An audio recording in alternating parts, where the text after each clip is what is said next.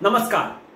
मैं राहुल भोज, स्वागत करता हूँ आपका फीफा फूज में। बिग बॉस बोले तो फीफा फूज घर में सबसे ज़्यादा पर्सनल अटैक्स किस पर होते हैं? घर में सबसे ज़्यादा पर्सनल अटैक्स दोस्तों एजाज खान के ऊपर होते हैं।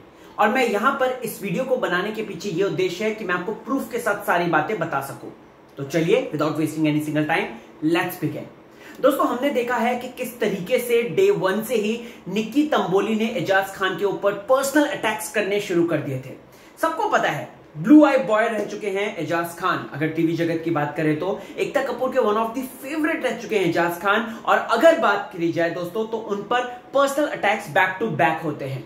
निकी तंबोली ने क्या मुद्दा उठाया था एजाज खान के ऊपर? अभी वो एक बार नहीं दो तीन बार उठा चुकी है कि आप जब पहले दिन आए थे घर पे, आपने टॉयलेट का इस्तेमाल किया था और वो जो सीट है पॉट है, उसमें छीटे थे। जो बहुत ही ज़्यादा एम्बेरसिंग है, बहुत ही ज़्यादा घटिया बात है दोस्तों। और निकी तंबोली, वो एक बार नहीं, वो बार बार ये बात बोलती है और इनफैक्ट सलमान खान के सामने वो बात बोली है उसने, जो कि बहुत ही ज़्यादा दोस्तों डिमीनिंग है डिग्रेडिंग है। तो यस ये है पहला अटैक दूसरा, एजाज खान के ऊपर ये आरोप लगता है, जो कि बहुत ज़्यादा पर्सनल है, कि इसके मुँह से बदबू आती है। वो कोई भी हो यहाँ पर जान ले लीजिए निकी ले लीजिए राहुल ले लीजिए या फिर अगर बात करें दोस्तों तो कविता कौशिक ले लीजिए। कविता कौशिक रिसेंट की लड़ाई में क्या बोलती है? अरे जाना निकल वैसे ही तेरे मुँह से बदबू आती है बदबू आती है करके। इस तरीके से उनकी पर्सनल ये मतलब एक तरीके से ले, लीजिए आप हाइजीन फैक्टर पे सवाल उठा रहे हैं ये लोग कि एजाज खान के मुँह से बदबू आती है। और वहीं अगर राहुल जो है सिंक में थूके कुल्ला करके थूके उसकी दाढ़ी से बाहर जो जो है पानी गिरे उस पर किसी को कोई एतराज़ नहीं है। तो एजाज खान के ऊपर दोस्तों ये पर्सनल अटैक है। वही अगर बात करें तो गाली गलौज सबसे ज़्यादा एजाज खान के ऊपर होती है। एजाज खान, हम सबको पता है कि लड़कियों पर वो ज़्यादा भड़कते नहीं हैं। हाँ भड़कते हैं, लेकिन वो गंदी गालियाँ नहीं देते हैं, बल्कि लड़की सामने वाली देकर चली जाती है, चाहे वो पवित्र पुनिया हो या फिर ये, कविता कौशिक क्यों ना हो। एजाज खान के ऊपर बैक टू बैक दोस्तों पर्सनल वार हुए हैं। और अगर, सबसे लास्ट बात मैं आपको बता दूँ तो सबसे ज़्यादा हाथापाई भी उनके ऊपर हुई है।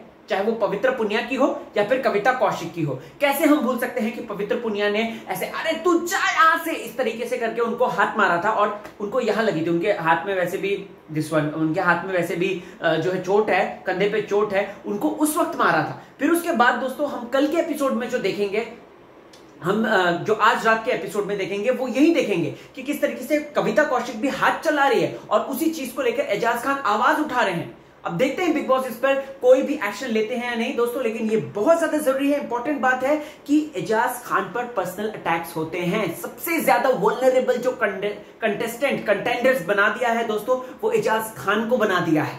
और इसी वजह से दोस्तों, एजाज खान को वीकेंड के बार में बूस्टअप भी किया जाता है।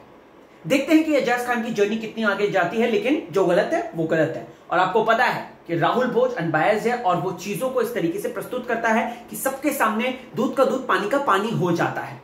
आपको क्या है लगता क्या आपको भी लगता है वाकई में एजाज खान के ऊपर पर्सनल पे पर्सनल अटैक होते हैं जो कि पर्सनल हाइजीन फैक्टर से लेकर, उसको मारना से लेकर, गालियाँ देने से लेकर ये सब है?